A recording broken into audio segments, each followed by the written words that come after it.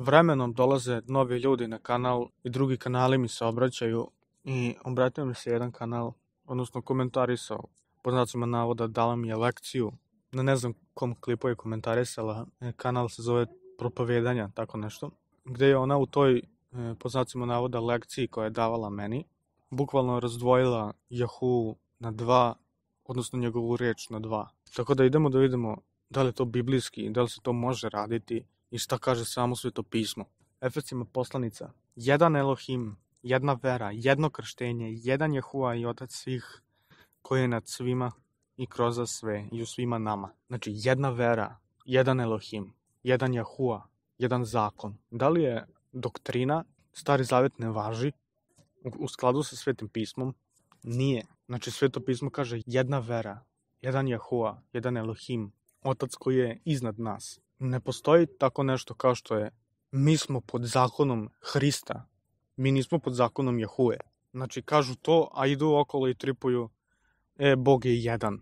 Pa, da li vidite da ste ga bukvalno razdvojili na dva, i njega i njegovu reč? Time što kažete, ja nisam pod zakonom Jahue, već sam pod zakonom Hrista, razdvojili ste i njega i njegovu reč. A najbitnija zapovest jeste, čuj Izraelju, Jahua, Elohim je jedan. To što vi kažete, to vi kažete. Sveto pismo je druga stvar. To što kaže hrišćanstvo, to je njihova stvar. Sveto pismo je druga stvar. To što kažu novozavetaši, to je njihova stvar. Sveto pismo je druga stvar. Koja kaže jedan zakon, odnosno jedan Jehua, jedna vera, jedan Elohim, jedan otac. Znači ima 40 i nešto hiljada denominacija. Da li ovde piše 40 i nešto hiljada načina, 40 i nešto hiljada vera, 40.000 i nešto oceva, ili piše jedan Jahua, Elohim, jedna vera, jedan zakon. Znači ta laž da je spasitelj pričao nešto protiv zakona je laž, što više odvratna laž. I kad kažeš mi nismo pod zakonom oca, već sina, već je tu u problemu. Već je tu osuđen za lažnog proroka, lažnog učitelja, za laž. Onda idemo dalje. Jovan, Jahuša mu reče, Ja sam put, istina i život. I niko neće doći ka ocu do kroz me. Da li ovde piše, niko neće e, imati spas, niko neće doći ka ocu, osim na način na koji Jehovin svedoci to praktikuju. Da li piše način na koji e, adventisti praktikuju i uče. Da li ovde piše hrišćanstvo je put, istina i život. Da li ovde piše biti član Jehovinih svedoka je put, istina i život. Da li piše biti adventista je put, istina i život. Znači ima toliko denominacija, a put, istina i život je jedan jedini, kroz Jahušu Hamašijaka. To me ljudi danas pitaju da li da pratimo ove, ovi kažu da imaju oni spas, oni kažu da jedino njihovo učenje spas.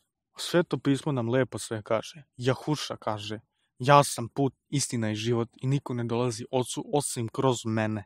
Znači ne postoji 40 i nešto hiljada načina.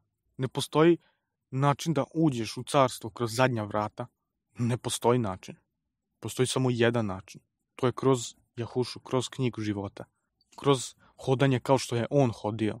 Matija, znači kada je đavo, kada je kušitelj došao da zapovede Jahuši, da pretvori kamenje u hlebove, šta je on rekao? Pisano je, ne živi čovek o samom hlebu, no o svakoj reči koja izlazi iz usta Jahuve.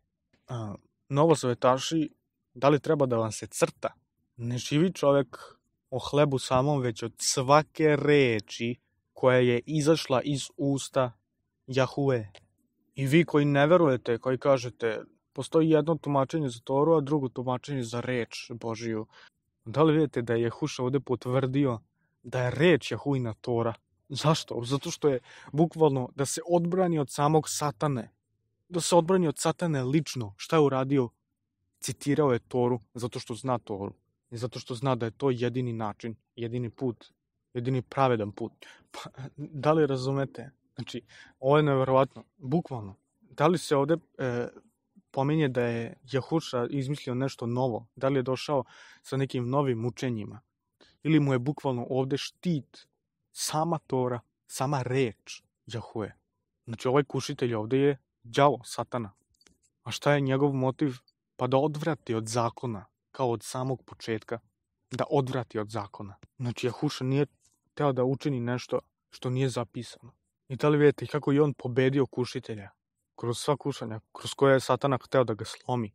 Pobedio je time što zna Toru i što živi po Tori i što veruje njegovom ocu. Da li vidite to? Znači, jedini način, po primjeru samog spasitelja, jedini način da se odbranimo od kušanja, od satane, jeste kroz njegovu reč, kroz Toru, što je, i pazite, takođe mi je napisala ta žena sa kanala, a ti samo pominješ Tora, Tora, nije celo sveto pismo Tora. E, pismo se sastoji od Tore, od e, proroka, od evanđelja i tako dalje. Znači što opet vidimo? Opet vidimo razdvajanje neka, nekakvog svetog pisma. Znači ja kad kažem Tora ne mislim na e, da je samo to cijelo sveto pismo. Ne, znači to je jedino, jedno jedino učenje svetog pisma na kojoj se celo sveto pismo i stari i novi zavet bazira. Znači Tora je kamen vere. Znači, kao što sam govorio, ona je temelj temelja za sveto pismo, zato što se ne može kuća graditi bez temelja. I znači, kao što vidimo, onaj koji rade protiv zakona je satana. I da li mislite da je koincidencija što danas religija uči i što lažni proroci i što lažni učitelji uče? Znači, šta je satana od početka uradio? Od početka je odvraćao od vere, odnosno da odstupimo i da, da pregazimo reč Jahuinu. To je uspeo sa Evom, time što je nagovorio da prvo posumnja u Jahuinu reč, a posle da je prekrši. I zanimljiva stvar je da se tu radi o, o voćki, znači o hrani se radi. Pazite, Satana je rekao, ma slobodno pojede tu voćku, neće ti ništa biti. Nećeš ti umreti sigurno. Garantujem ti. I te fore je koristio i nagovorio je. A šta današnji novozavetaši, hrišćani, šta hrišćanstvo uči? Ma njega nije briga šta ti jedeš, njega nije briga šta ti piješ, njega nije briga da li držiš njegov zakon, zato što je on prekinuo zakon. Da li vidite neko povezivanje satane i njihovih učenja? ja sigurno vidim. Jer, ljudi, pazite, ako krenete da razmišljate, ma, ma zakon nije toliko bitan, e, šta je sad bitno, da li ću pojesti ovaj čvarak ili neću? Nije bitno da li ću održati ovaj šabat ili neću. Mislim, to je samo običan dan. Nije bitno da li ću održati Božić ili, ili neću. To je obična, obično drvo. Nevino je, znaš. Nije bitno da li ću masturbirati ili neću. Znajte da vam tada satana priča uvo. Jer pazite, ne govorim da iza svakog zakona ne stoji dobar razlog zašto je taj zakon tu. Ali još jedna mnogo veća bitnost zakona jeste da li ste pregazili ono što je Jahua rekao Naravno, vi možete opravdati greh koliko želite, ali stvar je u tome da li ste ostali lojalni, da li ste poslušali ili ste pljunuli na Jehu i na njegovu reč. U tome stvar. Znači, Jahuša, sam spasitelj, koristi Toru kao štit od satane. I on sam kaže, ja sam put, istina i život. Ne hrišćanstvo, ne katolicizam, ne denominacije, ne Jehovini svedoci, ne adventisti, ne subotari, ne, ne ja, ne moj kanal. On, on je put, istina i život. Jer je on spas. Jahua je spas. To bi bilo to. Shalom.